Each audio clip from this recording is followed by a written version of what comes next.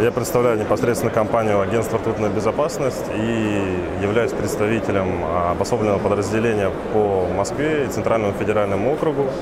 А, Представительство называется контрутилизация. Мы занимаемся утилизацией опасных отходов на территории всей Российской Федерации. Имеем огромную производственную площадку, порядка 17 гектаров. А, У нас представительство есть во многих городах нашей страны, такие как Санкт-Петербург, Красноярск, Стерлитамак, Армавир, Сочи, Краснодар, а, Симферополь.